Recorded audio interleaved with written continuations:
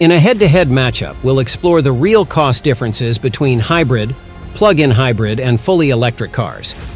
In order to do this, we drove three Kia Niros, the hybrid, the plug-in hybrid, and the completely electric model, from Twickenham to Birmingham and back while sprinkling in some city driving. Join us as we analyze the data and reveal which one is the most cost-effective. Setting the stage for the battle.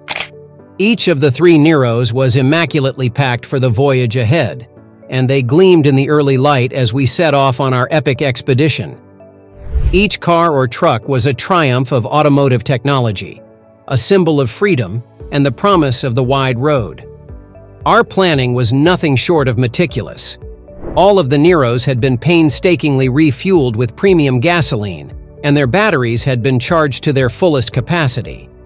Electrical currents buzzed through their bodies, providing a subtle but potent sense of alertness. We followed a thorough protocol since we wanted our comparison to be as accurate and useful as possible.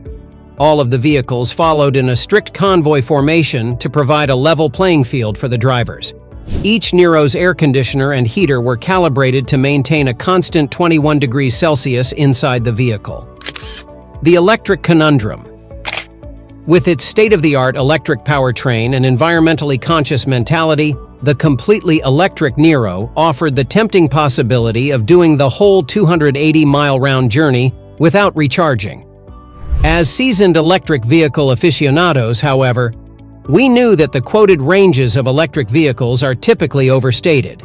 There was no better example of the proof is in the pudding, and we couldn't wait to see it for ourselves. The fear of running out of battery power followed us everywhere like a black cloud, ready to crush the spirits and derail the electric goals. Would the electric Challenger deliver as promised by the manufacturer? Or would we be left scrambling to locate a charging station in the middle of nowhere? In the interest of research and discovery, we were ready to accept the risk. The electric Niro had to come up with a game plan for the trip back in the face of such ambiguity. This fact alone paved the way for an interesting comparison of the electric Niro's price to that of its internal combustion-powered competitors. There were a lot of unknowns, such as how long it would take to recharge, how much money would be needed to recharge the battery before making the trip back. To what extent can these considerations cancel out the fuel and maintenance cost reductions that electric cars are known for? The plug-in hybrid Advantage Amp the Steady Hybrid Cruiser. When we shifted our focus to the plug-in hybrid Niro, the scenery around us took on a new tone. In contrast to the fully electric Niro's lofty range expectations, this hybrid model, with its smaller battery, was advertised as offering a meager 38 miles of electric range. On the other hand, the plug-in hybrid's reliable gasoline engine was always ready to take over when the battery ran out of juice. This technological wonder was a hybrid, giving us the best of both worlds and allowing us to go the whole distance with only one fuel stop. The hybrid powertrain of the Honda Civic e:HEV consists of a 2.0-liter gas engine and two electric motors. To fuel the second motor or recharge the lithium-ion battery, one of these motors doubles as a generator. This configuration enables the gasoline engine to cooperate with the electric motors, decreasing the requirement for the engine to run at full throttle and so increasing fuel economy. Although the EPA estimates that this car would get 56.5 miles to the gallon when using the WLTP standard, the author discovered that it really got between 60 and 80 miles to the gallon in everyday driving conditions, especially when traveling at lower speeds. The results show that plug-in hybrids, although boasting high MPG ratings, seldom live up to their claims in real-world situations, particularly if the battery isn't regularly charged. Compared to the Civic e:HEV, this may lead to much worse fuel economy and perhaps greater expenditures. The plug-in hybrid Niro was like a magician, switching back and forth between its electric and gasoline identities with ease. This Niro variant made a compelling case for those looking for versatility and reduced environmental impact without the limitations of a fully electric vehicle, thanks to the promise of electric-only driving for a considerable distance and the security of knowing that the petrol engine would come to the rescue when necessary. On the other hand, our normal hybrid Niro plotted a plan that made our big voyage uneventful.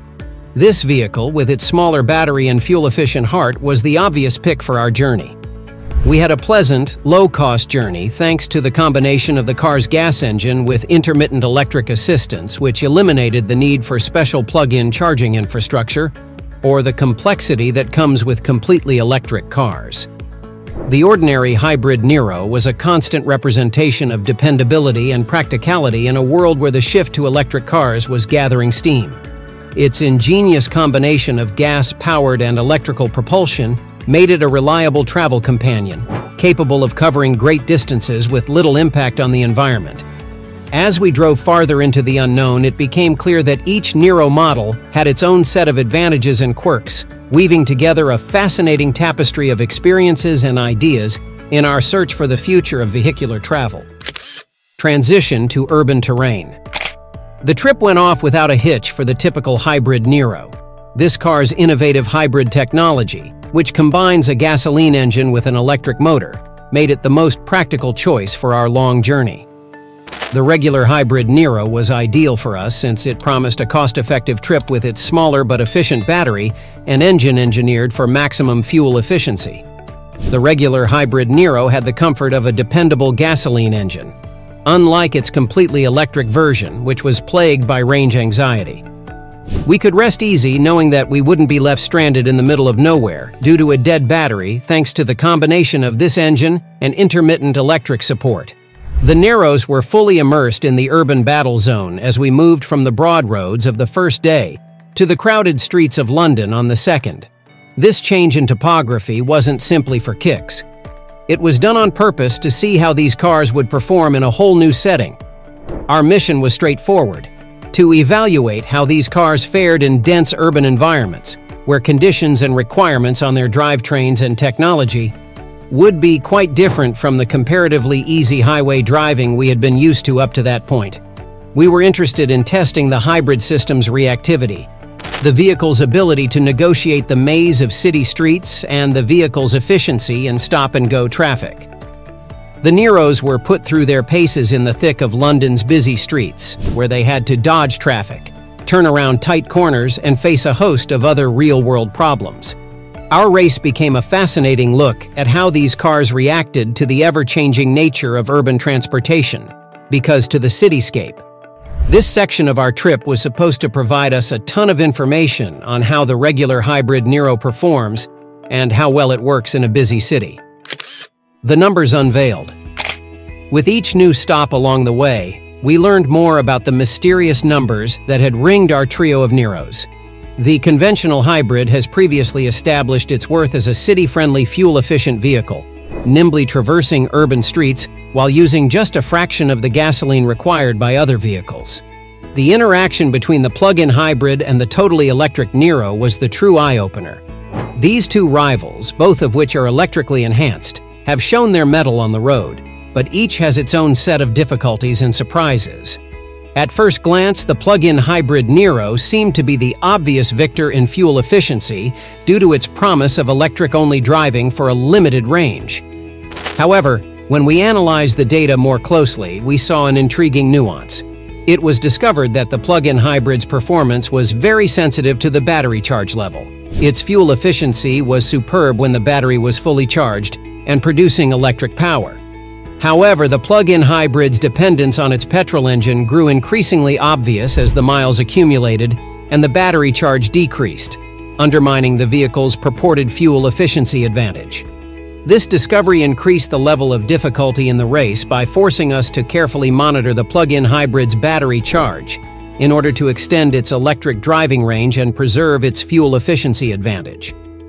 Using electric power for as long as possible while saving the gas engine's reserve for emergencies became a tricky balancing act. However, the completely electric Niro had to deal with new difficulties. Despite being completely gas-independent and producing no exhaust emissions, the lack of a widespread charging network remained a major drawback. We had to carefully arrange our itinerary so that we could stop at charging stations as necessary to maintain the electric Niro's efficiency. The initial range anxiety had become a genuine and ever-present concern, highlighting the fact that the switch to electric cars still faced challenges, especially in the areas of infrastructure development and range confidence. Were you surprised by these results? Does the cost effectiveness of different car types influence your choice?